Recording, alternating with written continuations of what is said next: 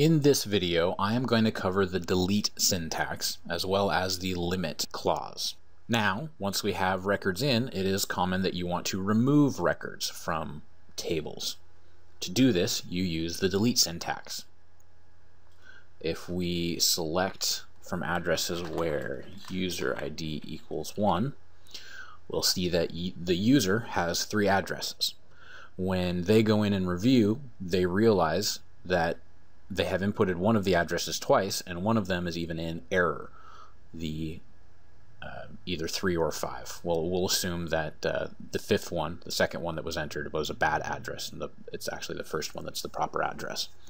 So we need to delete record 5 from our table. To do this, we use the delete syntax.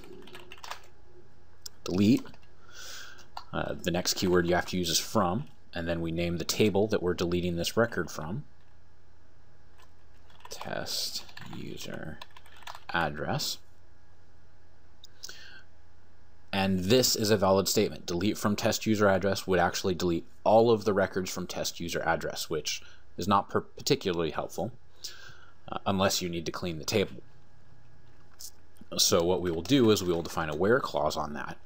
Delete from user address where ID equals equals 5. And this will then delete that record and remove it from the table. So if we run this, record was successfully executed. Uh, it in phpMyAdmin it asks us if we want to verify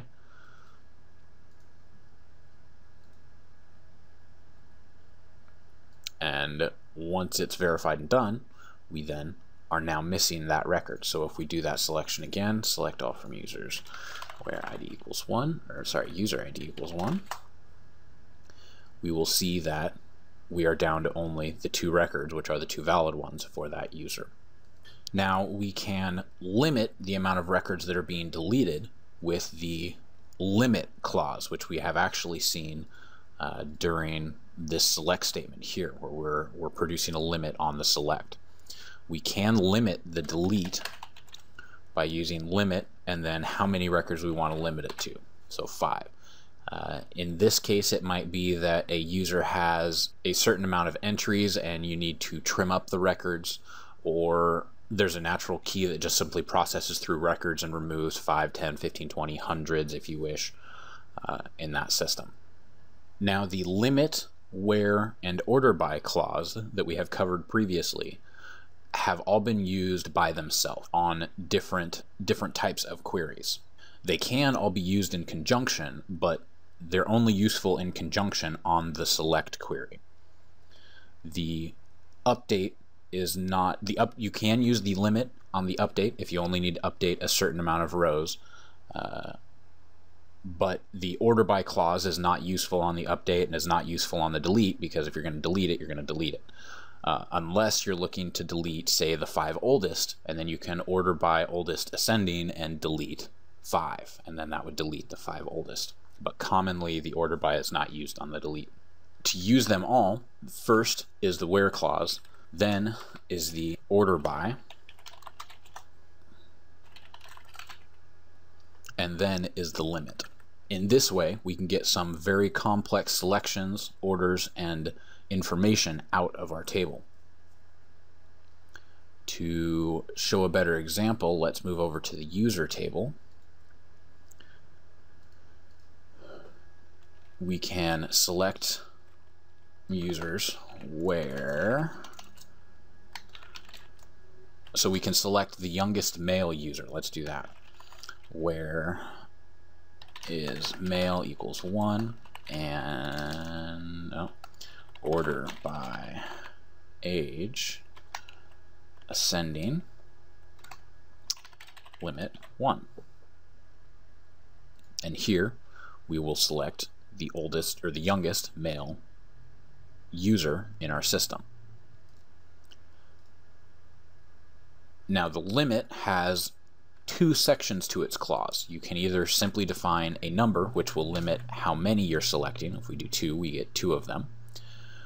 The second parameter is basically what page we want to read. So we can define it with one parameter, which is how many we want to receive or select out. We can also determine what page. So if, if we have 100 records, we can limit our selection to 10, but then if we want to get record 11 through 20, we can do that as well. So the first structure is how many do you want to get? And if you define a second one, it's what page you want to get it on. So here we would be selecting 10 items, and here we would be selecting the second set of 10 items. So we're going to offset by 10 and then select 10 rows. If we wanted record 90 through 100, we would then offset by 90 records and do that. So for the arbitrary example, what we have here, we can offset by 0 and select 1, and we'll get the first one, which is 23. If we offset by 1, we should get the second one, which is the 25. And if I remember correctly, and we offset by 2 and get the third one, we should get, I believe, 65. Yeah, age of 65 for our user. So in this way, we can select and limit what we're retrieving out of the database. This is the end of the delete video. In the next video, I am going to cover joins.